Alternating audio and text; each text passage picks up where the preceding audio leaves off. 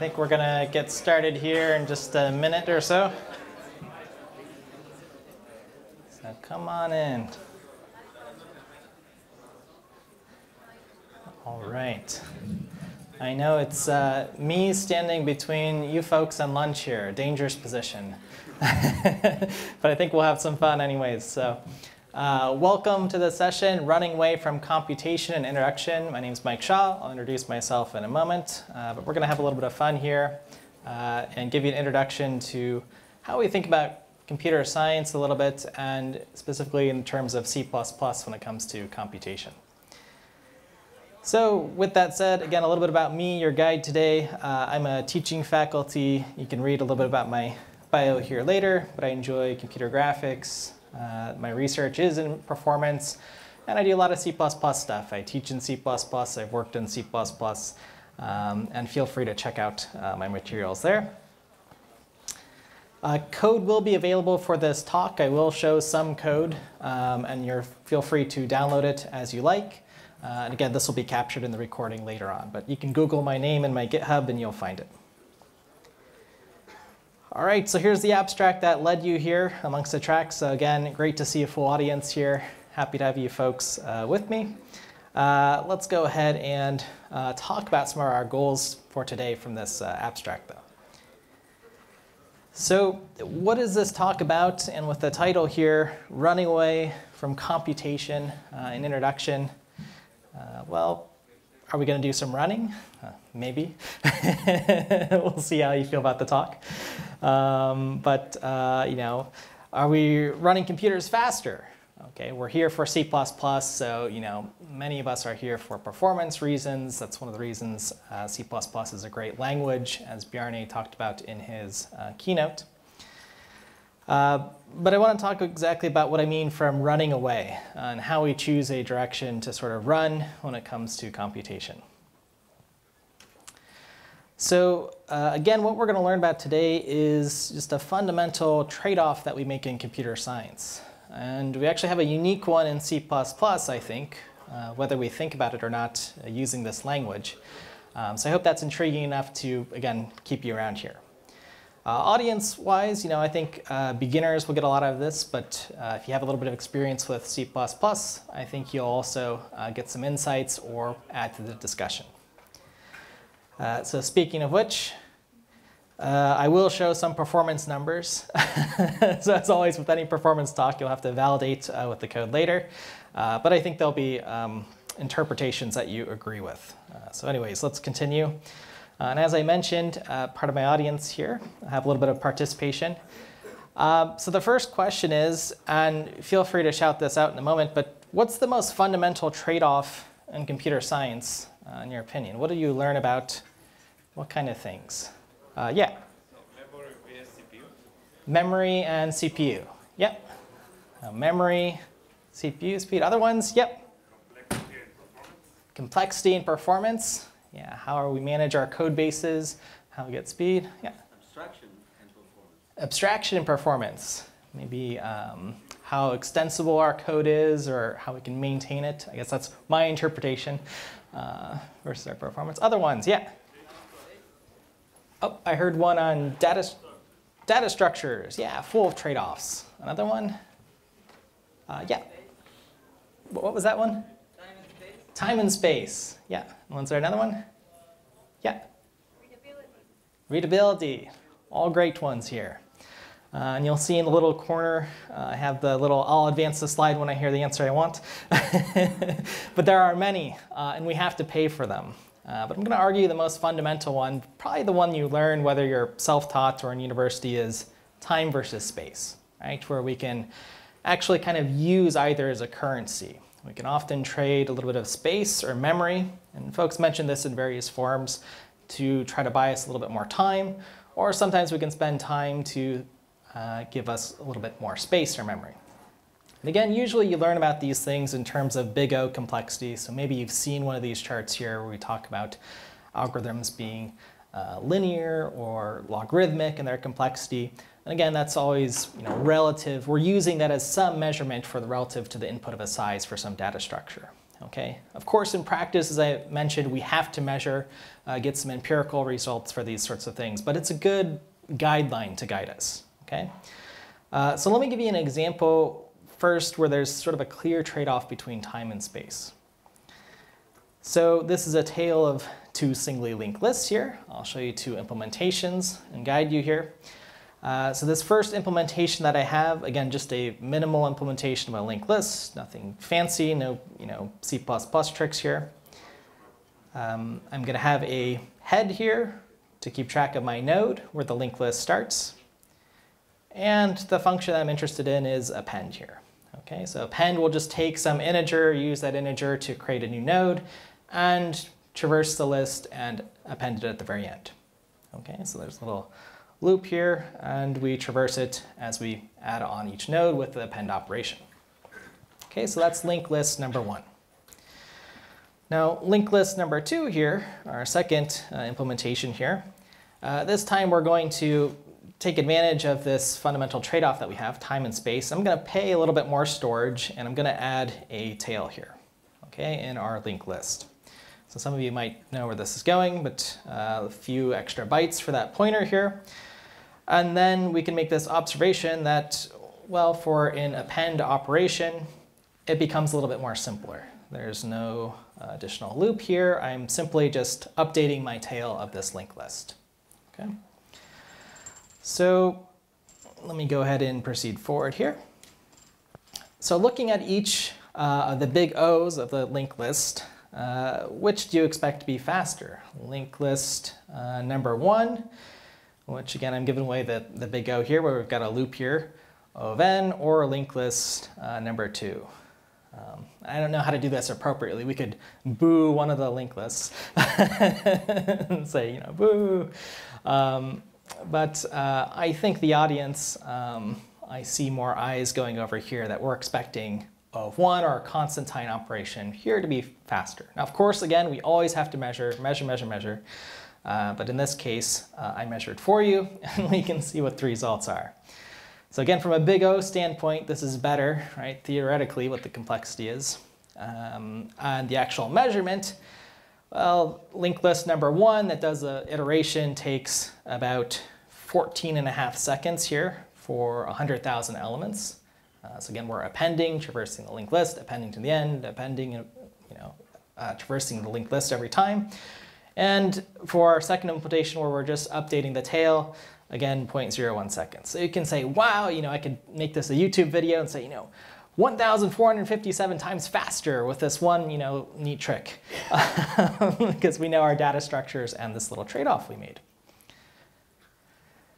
So uh, with this improvement here, essentially what I've done is I've reduced the number of instructions that we have here. Uh, or at least that's one way to think about it, the number of operations that are occurring at runtime. Right? On the left-hand side with our linked list, every time we append, again, we've got to iterate through the entire uh, linked list and do this traversal before we're able to uh, append at the end versus, again, on the right side. Um, so simple enough philosophy, do less work, usually you'll yield better performance, uh, and sometimes much, much, much better performance. So again, just a classic uh, example of a runtime optimization here, just choosing a better algorithm, uh, which somebody mentioned here. A better algorithm or a better data structure, which we'll get to. Uh, and these are some of the types of things that uh, some of us as performance engineers love doing, sort of fiddling around with the algorithms and you know, finding these little areas where we can get a lot of performance. I know I certainly do. That's why I'm here giving a talk on it. um, so you know, here's the recap. Uh, we made a significant performance improvement here at runtime by reducing the amount of time to complete some task using a better data structure, right? By amending our linked list number two operation. The cost for us here was just one additional pointer, eight bytes of storage on a 64-bit system. Uh, so it's just some constant amount of space per linked list number two uh, that we make use of. And again, the benefit is reducing our append to an O of 1 operation, or constant time, right? just however long it takes to update uh, our tail, uh, as well as the allocation of the node and so on. So this space trade-off appears very good to me. Um, and again, especially if we're certain that we're going to be appending to our linked lists often. This is a good trade-off to make. Again, you'll have to know what type of problem you're solving, but if we know we're appending frequently, probably a good uh, design decision here. All right, so this leads me though to another fundamental trade-off. Uh, it's sort of specific to C++ as well as other languages, but I'm here to talk about C++. Um, and that has to do with compiled languages here. So the other fundamental trade-off um, that we can make in C++ is compile time versus runtime, where we can spend a little bit of compile time to maybe do something and get an advantage at runtime, or vice versa. Maybe take a shortcut at runtime to increase our compile time. Okay, depends on what trade-off we need to make. So in C++, um, as well as other compiled languages, I know folks use other languages sometimes, um, we can make, again, this trade-off for space versus time like we did just for our data structures. Uh, but we can also, again, make this compile time versus runtime trade-off. And again, this is something when I'm speaking to my students about uh, the first time they start programming, it's a little bit confusing that you have to think about what's happening when you're compiling your code and runtime. Again, especially if you're coming as a beginner from a uh, interpreted language, for instance, where you just hit run and the code goes. Uh, in a way, we also pay for this in different ways. Maybe there's a little bit more cognitive overhead where we have to think about things. Uh, folks mentioned as one of the costs here, developer time, for instance, when you have to think about compile time and what we want to optimize for. Uh, and there's toolings and IDEs and stuff that can help us um, reduce some of the cognitive load or compile times and so on. Uh, but it's still something that we have to think about um, in C++, but it's something we can take advantage of. Again, it's another place where we can make a trade-off.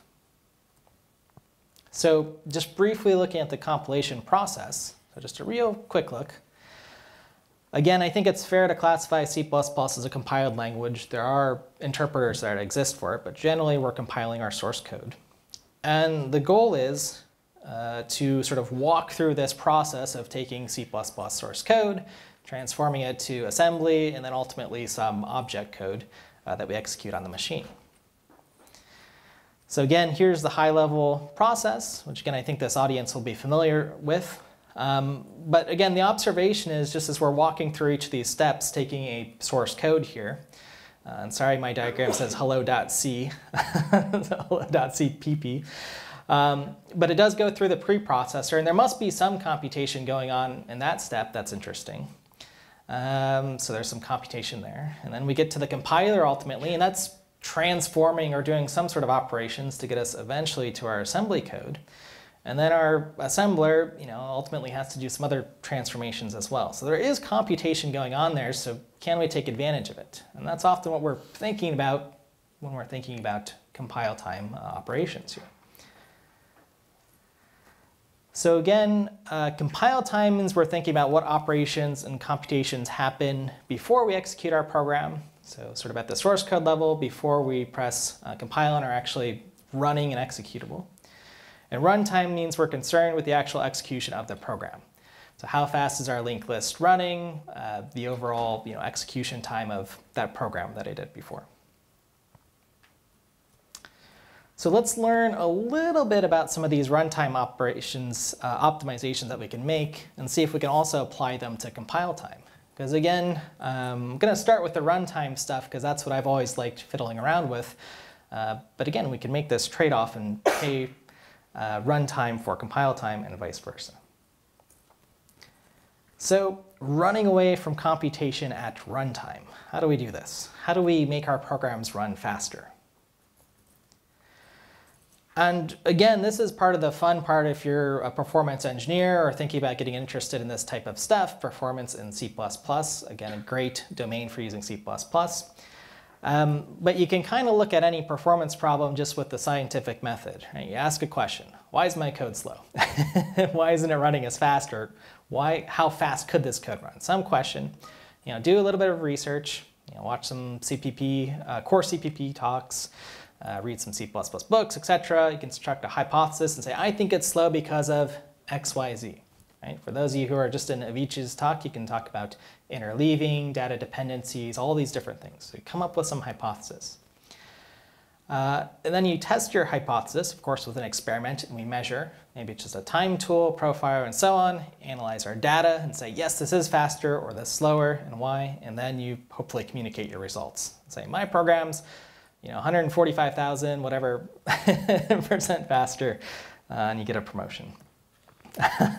so uh, let me provide a few examples here, and let's just see if we can find some themes with this idea uh, with runtime optimizations.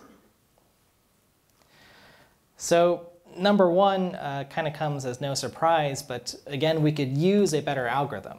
And again, better algorithm for your use case. So as we saw with the linked list example, if I know I need some expanding data structure, I'm going to append to it, I can just kind of grow it, um, then we can make some trade-off here and improve our append algorithm, okay, by paying a little bit of storage just like we did. Okay, so we've already seen this uh, trade-off of space versus time. Uh, so that's a great starting point, again, for just reducing the amount of what I call here the recomputation that you have to perform. So again, with this step here where we were iterating over and over and over again, um, you know, again, this was uh, quite slow. Now, could anybody think about in this linked list operation one here, could I have also applied this strategy without maybe modifying my class? Um, could I have added something else in this algorithm uh, to maybe keep track of you know, where we last appended to? What was that? A little bit louder? Yeah, just prepend, right? I could change the problem. Again, if I'm just growing this, uh, then I don't uh, need to actually add the extra pointer, so that could fix it. I could have actually, or I could have put some storage maybe in here, some sort of um, node to keep track of our last inserted place. Um, you know, if this is going to be a, a, modified list. So again, just depends on the problem how we uh, can modify this. But again, I chose append, so that was the solution. All right, so you know, choosing a better algorithm uh, or improving our algorithm, trading space for time works. Uh, the second thing we could do is just do less work. Again, less computation, again, uh, as the theme is, probably gets us better performance. So in this case that I'm going to talk about, sometimes we don't have to make that space versus time uh, trade-off uh, in, in a sense that we just have to sort of think about ordering. And you know, when I thought about this, this was from like I think I read this oh, probably a, a, decade at least ago from like Sam's Teach Yourself C++. it teaches you about short circuit evaluation, right? So in this example here at line 20, you can see I have uh, two ampersands, and at line 25, I have a single ampersand. So with the short circuit evaluation, if one operation is uh, false, no need to proceed and evaluate the other operations. Okay, so uh, this boolean versus maybe this really expensive function that's going to return true or false. Okay, so I can kind of reorder these um, around and get an early exit, right, if I have these in the appropriate order. Okay, so that sort of makes sense there. Um, and again, if I naively flip the operations and put the most expensive operation first, that could be costly. Okay, so again, it makes sense to probably do the cheap or the less thing first if I've got a series of uh, functions or flags that I need to evaluate in this conditional here. Um, so order of evaluation can sometimes matter. Okay, again, we just have to think about what problem we're trying to solve here, but uh, take advantage of our short, short circuit evaluation built into the language. Okay, so that's better here. Let me flip it around to the right way. Again, just doing the cheap Boolean check. So what I'll call those uh, sort of runtime uh, optimizations that I've done here is I'm sort of at a fork in the road here. I can kind of make a left turn um, at this point and you know, we could start talking about some of these more little optimizations, some of these little tricks or hacks that you might have picked up over time, things like, oh yeah, short circuit evaluation. Of course we know about that. That's probably what we default to most of the time.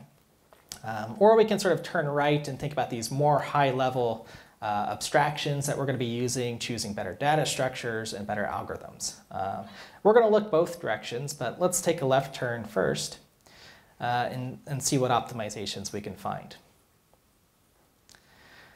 So some of the little uh, things that we can do, just like with our short circuit evaluation, thinking about ordering is start hand tuning our code.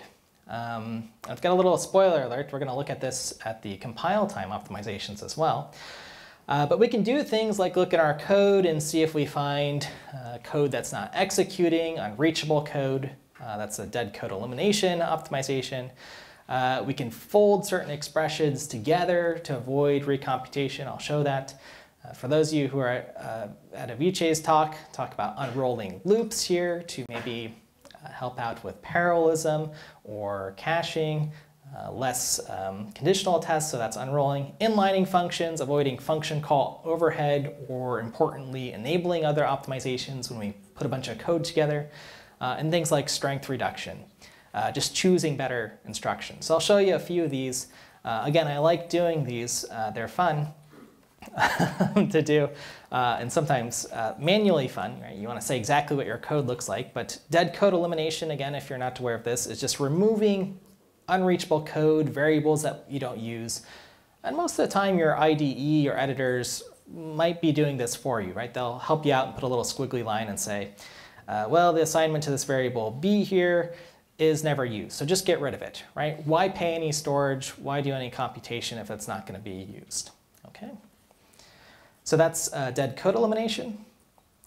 Uh, we have other things like common sub-expression elimination, which in this example uh, if I've got this uh, code here, A equals B times C plus G, and D equals B times C times E.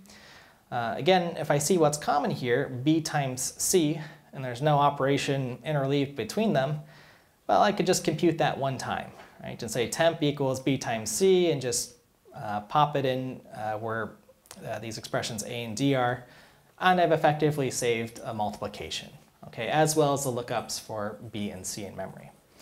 Uh, so that's a really nice operation or optimization that we can do. And it's uh, certainly very valuable if we start having larger and larger expressions, things like trigonomic functions or maybe just other uh, values that we're, we're, returning from a function. Uh, but it does sort of hint at this idea that we'll probably want to look at later, which is caching these values. Okay, so in a sense that what we're doing here is just caching b times c into this temp value. Uh, so that's kind of neat. We can do this sort of hand tuning uh, if we want. All right, uh, so here's um, just another example, uh, again, where these caching uh, can be useful. Um, and again, it can be kind of sneaky in our code. Uh, so the example I have here is, let's say we have some structure here, a graph.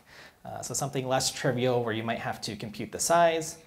I know in my example I just said return 42, but I just wanted to give you something you could compile. But again, pretend we have a breadth first or depth first or some interesting traversal, you know, along a shortest path or something. Uh, but if I go ahead and look at lines 19 through 21, I'm recomputing the size over and over and over again uh, versus below here. Well, I could probably just cache that size here, okay? Especially if it's not going to be changing uh, throughout the duration of this loop, right? Why compute that over and over and over again, right? So we have these little uh, tricks, um, sometimes in non-obvious places. I know I'm always putting uh, vector.size or whatever everywhere. Um, you know, and uh, we don't necessarily need to, um, I guess a vector is okay, but if it's a non-trivial data structure like a, a graph, we don't need to recompute all the time. And even within this little loop here, so still talking about some of our hand-tuned op optimizations, we get into things like strength reduction. Um, do folks know the difference between plus plus i and i plus plus, prefix versus postfix?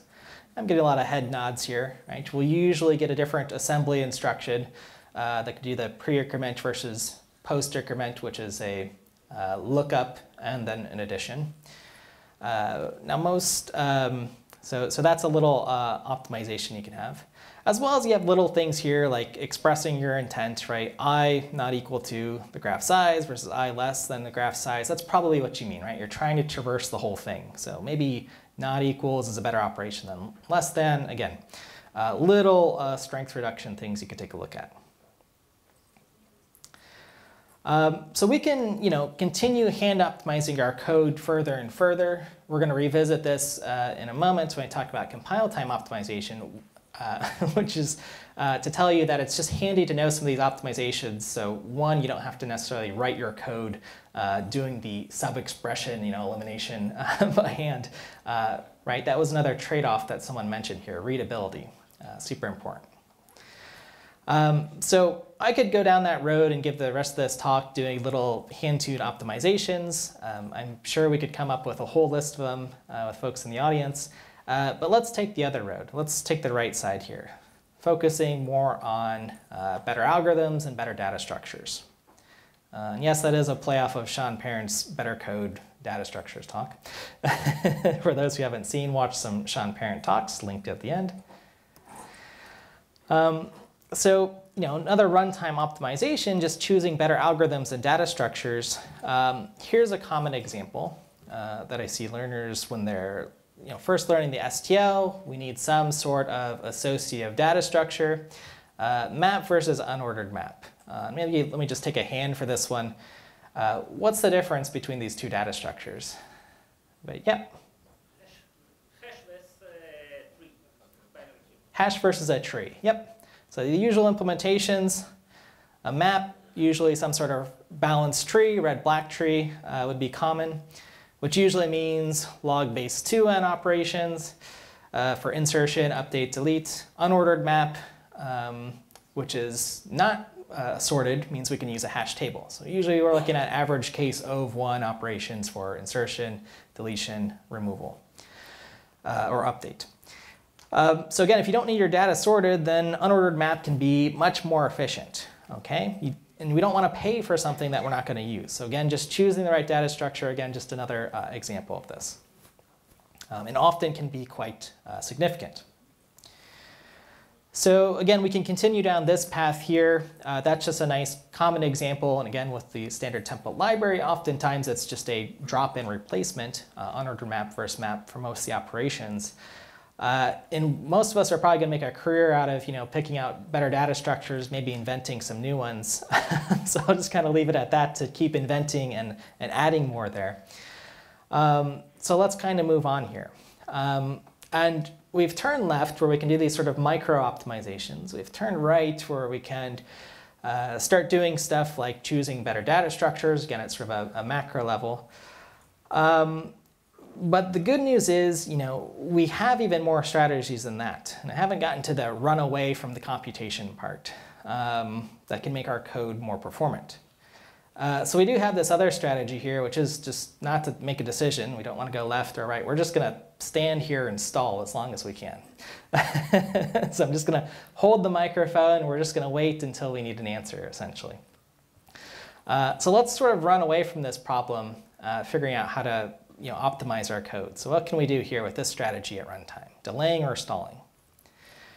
Well, in C++ 11, um, as well as you know, the Boost libraries prior to this, we have some mechanisms where we can uh, sort of package up computations in different ways. So speaking in particular of promises and futures, which sort of bundle together uh, promise, um, sort of stores a value that's going to later be acquired by the future when it's uh, requested. Okay, when we say, hey, give me some uh, computation. Okay. Um, so I don't need you to read the, the code here on the right. It's too small, but there's comments about what's going on and about the seven or eight lines uh, there of actual code. Uh, but again, the basic idea is we want to execute, execute, uh, and then block until we need some sort of result. Okay, so we'll retrieve some result at a later time when we actually need it. Um, so that's sort of the idea of just stalling, right? We continue our computation, and then we wait for the data when we actually need it. Now, there's actually a little bit of a nicer mechanism uh, for working with promise and future here. So as I show here, we're actually sort of always blocking if we do myfuture.wait or .get here. So let me just get to the uh, mechanism uh, by creating a async function here. And the idea is here that, again, we're just going to defer our computation using async. And again, we're going to pass in a policy here for launch deferred here. And that's just going to perform what's a lazy computation here. So our program will proceed after line 18 here, or have this async that's executing lazily some other computation.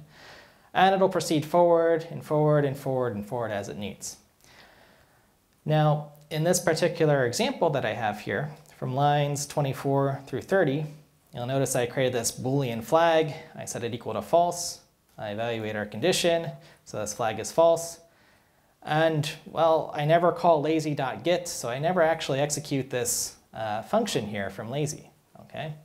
Because uh, we didn't need it. Now, if I flip this to true, then uh, it'll actually you know, perform our result and we'll block here until we get it. Uh, but this is the idea that I didn't need to do some computation or preemptively do it. And there's a variety of ways that you could organize this to perhaps um, you know, just do the computation ahead of time if you need it and then grab the result, right? This can happen in another thread. Or again, we could do this sort of lazy evaluation, just stall, right? I'm running away from the computation literally at this time until the last possible moment. Okay, so getting into the theme of our talk. So uh, with that in mind, I kind of like this idea of just stalling. Okay, if I'm doing no work, that's sort of the best uh, possible outcome. Uh, I don't have to make any trade-offs because again, we're still paying, uh, even with our time versus space trade-off, something, right? I'm either paying more memory or time. Uh, but if I can just stall and not pay anything for as long as possible, that can often be good. Um, so there are more strategies for this. There's many more. Uh, but one I want to give here um, that is unoccasionally used is called uh, copy on write. Uh, so with this strategy, again, we're going to defer our computation uh, just like our previous uh, strategy. And we're going to wait until we actually need to make use of some new data. Um, so the idea on this, uh, copy on write, which you might have heard as lazy initialization as well, depending on what programming languages you've used. Uh, the idea is if you're making copies of some data structure, like a string, for example, uh, you could implement a copy on write that, uh, well, if I'm making a lot of copies and I'm just reading values from those copies, nothing's actually changed. So I don't need to update anything. I don't need to actually initialize a new string and change you know, block of memory. I can just keep using the old string, essentially. Okay, so that's the idea of copy on write.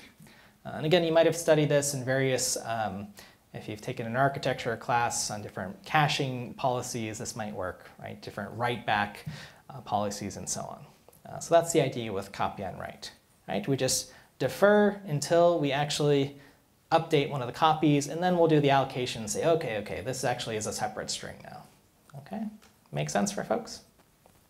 So copy on write. All right, so summarizing those runtime computation strategies, uh, we've got you know, using a better algorithm, uh, doing less work, uh, hand tuning our code, again, just maybe performing some clever uh, tricks, Again, better algorithms, better data structure, so that's really just one. but um, you know, think about it a different way. And then we've got this idea where we can just sort of delay, install our computations, maybe using something like async or lazy uh, operation, or uh, copy on write, which would be a lazy initialization, again, deferring, uh, making an actual copy of our object until we absolutely need it. And again, this isn't even really close to a complete list of how many optimizations that we can do with our code. Again, you can think of many different optimizations that we could hand tune and so on. Uh, we can get into GPU stuff. We've got, uh, for those of you who are at Vice's talk, lots of different instruction level parallelism. You get some of that for free, whether you like it or not, uh, through pipelining on your machine. Uh, but hopefully, again, that just gives you a model of uh, thinking about some of the different things that we can do uh, for runtime. Uh, and again, if you're a GPU programmer, I hear you screaming. You're saying, run towards the computation, more, right? We pay a lot of money for these machines. Use all the cores, keep your machine 100% utilized. Uh, I know, that's a separate talk on, that topic, right? With the obligatory Moore's law diagram. Um, but uh, again, that's, uh, we're gonna run away from computation here to try to get performance.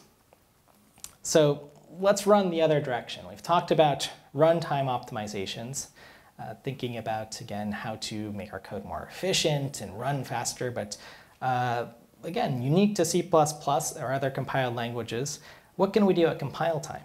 Okay, we get to make this choice because again, there's all that processing that's happening as we're building our source code uh, files.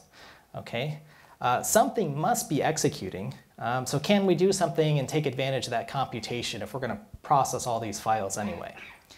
Um, so let me just introduce you again to some of the ideas uh, that we can control at compile time. And again, the spoiler alert, some of these ideas are exactly the same that we've seen. So number one, you know, let the compiler optimize. So when you compile your code, you can pass in 02, 03, 01, or you know, a, a bunch of other optimizations, and it can take care of this hard work for dead code elimination. Um, now you'll probably still want to get rid of that dead code anyways in your source code, but um, the compiler has a full view of your source, so you probably want to take advantage of that. Uh, and likewise with things like common sub-expression elimination, the compilers can do many of these optimizations and use some heuristics to do this well enough for you. Again, so you don't have to write code that's very, very um, verbose and might be hard to read later. Again, the, the point here is that it's good to know some of these optimizations exist. If you're using Clang or GCC, you can actually run the pass managers and see how your code's transforming to confirm that it's working. Um, but again, it'll help you during your iteration stage of just writing clear code and then running some optimizations. Okay, and of course that's taking place at compile time because you're compiling your code um, and it's running these. Okay, so here's another strategy here. Uh, it has to do with the C++ uh, language and something that might be checked at compile time. Uh, and I've got two functions here, uh, pass by pointer and pass by reference. Uh, and then a, um, ooh, yucky, a global variable here, but you know, just for the purpose of this example. Should have marked it at least static, I suppose. But um, for the question here, what do folks think in the audience? Is there going to be any difference in the assembly code between these two functions? Uh, one's being passed by pointer, one's being passed by reference here. I'll, I'll let you just kind of think. Everybody lock in their answers in their head. Uh, is there going to be any difference in the assembly code? Uh, let's see. Well, here's whatever version of um, GCC I was using in Godbolt. Um, same instructions. Uh, so, you know, I mean, at the end of the day, a, a, reference has to be, right? It's, it's referring to something else, right? Um, so if I look at the assembly again, uh, if you don't believe me, it's the same same instruction set. I mean, we could probably even, in a sense, reuse the um, assembly. Um, but why do I like passing by a reference here? Um, well, you know, this is something again that C++ gives me, right? We have references versus uh, the C language, uh, but there are some things that are enforced, uh, meaning that in this example, this function from line 5 to 8 passed by pointer, uh, I probably do want to check if this is a null pointer here. Okay, I probably do want to handle some of that error checking.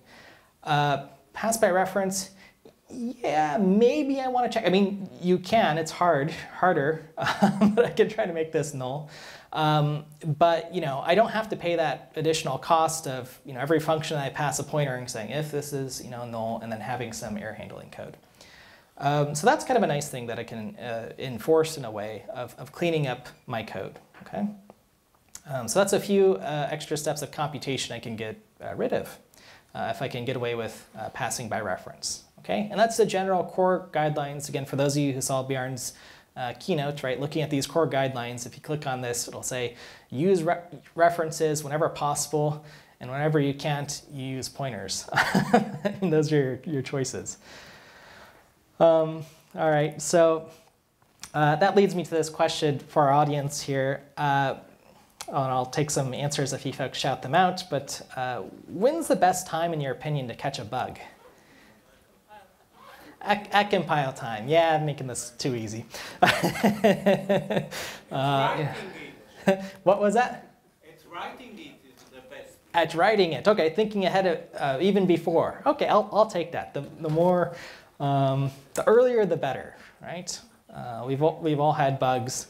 Um, but if we can catch a bug, right, we know for sure uh, at compile time. So generally, before it occurs, in compile time is the first time that we're going to know, ideally. Okay, uh, So that's optimal for us as a developer.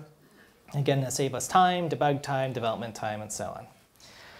So we have some tools, again, in C++ we can uh, use here. And you'll notice as the language has been evolving, we start getting more of these uh, functions that can execute at uh, compile time. So we have static assert, for example. Uh, so static assert's going to check at compile time values that are known. Okay, I'll get to const expr in a moment here. Uh, but in this example that I have here with static uh, assert, you'll notice at line 5 here, I'm checking is the size of an int 5,091? Well, we know it's not. so it's actually going to catch that here uh, immediately for us. Okay. Uh, so again, even better, we catch this at compile time. We don't have to do a bunch of different runs along different code paths or anything. Uh, we just find the bug. It's, it's checked at compile time. Right? It's part of the code that, that gets compiled. Uh, we don't have to worry about it. Okay. Uh, the user doesn't have to pay the cost either, um, like we might with a regular assertion that's going to be uh, checked every time. Okay. Now, of course, there's a place for each of these tools. Uh, so what I'm saying is when you can get away with a static assert, use a static assert. Okay, so prefer compile time checking to runtime checking. And again, this sort of goes with the references thing um, where we talk about pass by pointer versus pass by reference, that if I can get away with doing my error checking at compile time, well, then I don't have to write a bunch of error handling code or you know these other sort of exceptional uh, circumstances, right? If I know an integer must be four bytes or however big it is on your architecture, um, I can just check it there and uh, handle it appropriately. Right, so getting into that idea of checking values and things at uh, compile time, const expr is uh, our tool. So a big tool in C++ 11, this idea that we can mark things um, to try to compile at uh, compile time.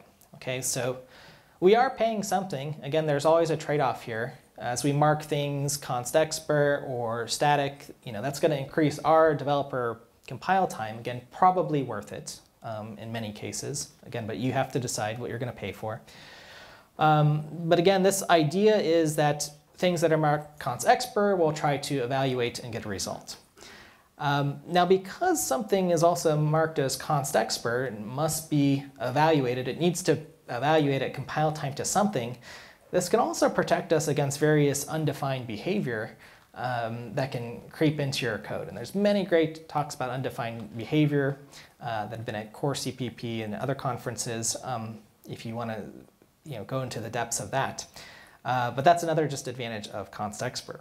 So let me show you an example here, uh, sort of the classic uh, factorial uh, example. And this program here, I've got one function here, uh, factorial or fact. I mark it as const expr, so sort of requesting, you know, please evaluate this at compile time when I'm compiling my code. Uh, and then you'll notice at line 16, I'm doing my static assert to see if the factorial of 5, so 5 times 4 times 3 times 2 times 1 is indeed 120. Um, and if it's not, um, you know, it'll report an error here, compile time check. Um, so, you know, this is in contrast to the left side where I've just, the only thing I've removed is the const expr at line 4. And uh, the assert is no longer a static assert, but one that'll be runtime checked here. Um, so just again to show you, you know, how much computation are we getting rid of here, uh, here's the assembly. Uh, so you know, on the left side here where we're not using const expr or assert, you know, there's, there's a decent amount of assembly, right? There's you know, a page or so, but a little bit bigger than fits in the slide. Uh, but our program on the right basically is a our program on the right is basically a no-op. It just it's a program that returns zero because the factorial uh, program uh, passes this assertion, and again, that's just all at compile time, uh, which is pretty neat, uh, I must say. Uh, you know, doing these little things here. Uh, so we're saving space in our binary and our user time. Okay. All right. So speaking of more sort of compile time stuff, um, now what happens when we have lots of data that we want to load, because maybe we do want to load a file with a bunch of data, uh, pre-compute some tables. Uh, maybe we've run a machine learning model and need to store a bunch of things. I work in graphics, we want to store a 3D model or something. Uh, so again, we could pay the cost of opening the file, checking if it exists, um, you know, handling all the exceptions, or we can just bake it into the uh, binary, which may or may not be what you want to do, but uh, in this case, uh, let's say we want to do that same factorial example, but uh, from line 6 to 8 here, uh, on this example, I'm just going to populate in array, so creating a table here, the different uh, factorials. Okay. So when I proceed something with static, that's static storage, it's baked into or embedded into our executable. Um, so that's pretty neat because again, uh, I can do this uh, lookup on the factorial here. Uh, and I omitted the uh, static assert here, that's a little bug here, but I can actually just check again at compile time uh, that this value exists. Or interestingly, if I wanted to compute the factorial of say the 11th value, right, the next one here, well, I've already got the first 10 populated, so then I can just take the 10th one times 11 and again save computation that way, right? So I've sort of pre-computed or cached, again, that idea that we learned about earlier, uh, some of these previous values and can make use of that, okay? Uh, and on the bottom is the actual assembly, just so you can see the uh, different values that are being stored, again, inside of the executable. Uh, so that's another strategy that we can use, again, so we don't have to, at runtime, pre-compute all these values. And do, you know, we've, we've done the, the caching or uh, memoization of these factorials already.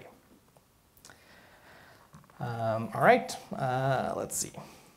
Uh, and just a little aside, there's other different tools and tricks that you can use. You know, some folks will store a bunch of binary data in header files. Uh, C23, I don't know if folks all has embed, uh, which means I think we'll get some flavor of that in C++, so we could just embed a bunch of binary data, uh, which I think is pretty cool. All right, so getting into other, uh, the, the, last uh, example I'll talk about here at compile time, uh, we have other tools that actually do their computation at compile time. So templates is the first one that jumps out. Again, a talk that deserves um, its own full talk here on the different types of uh, meta programming that we can do. Uh, but just a small example, uh, again, would be to, uh, if I have some data structure here, like a vector, uh, so the mathematical vector uh, with a length, I might want to specialize versions of it, for instance, and unroll, so again, doing my little hand tune optimizations here, that actual vector here, and maybe I get a little bit of performance out of that.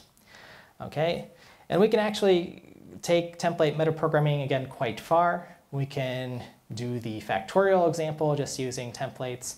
And we're just doing a little bit more work at um, compile time, or potentially a lot more work. And then we're also trading maybe size of our uh, program versus, again, uh, runtime. Okay. So summarizing those strategies, we have the ability to use our compiler, the different optimizations, use a language, which I showed an example of references, use various compile time um, facilities built into language, things like static assert. Uh, there's other things like static cast and so on. We've got const expr uh, to mark general functions. We can utilize static storage if we're going to pre-compute values and store them in uh, tables and take advantage of that uh, for memoization and caching purposes, and then template metaprogramming, whether that means specializing various functions to get performance or actually doing uh, computation. Uh, so with that, wrapping things up here, uh, we've discussed you know, a fundamental trade-off of computer science. And you folks, uh, you know, A++ plus for everybody, you know, time versus space, as well as many other uh, trade-offs that we make as developers. Um, but again, with C++, I just also want us to think about if you're not getting the performance that you might need versus time and uh, space by just thinking about data structures, consider compile time and runtime and take advantage of that key feature uh, that we have in C++ available to us with the different uh, facilities. Um, so hopefully you're leaving this talk with a few different tricks or maybe just a different way to think about uh, some of the different ways that you can um, do some trade-offs with time versus space. Uh, a few of the talks here that were referenced um, Sean Parent's talk on structures, API design if you want to learn a lot about copy on write, uh, async for deferring our computation, and there's a bunch of compiler optimizations, which is a great place to start learning about some of these things. Uh, and of course, your homework here, um, you know, try computing factorial in different ways. Just use that example. Try it with templates. Uh, try it the way I did with const expr and runtime, and, and measure the different things. Measure the time the program takes, measure the space of the executable, how much source code is generated, uh, and that'll give you some ideas of uh, some different experiments you can do. All right, and with that said, folks, uh, lunch is being served, I think, soon here. Thank you.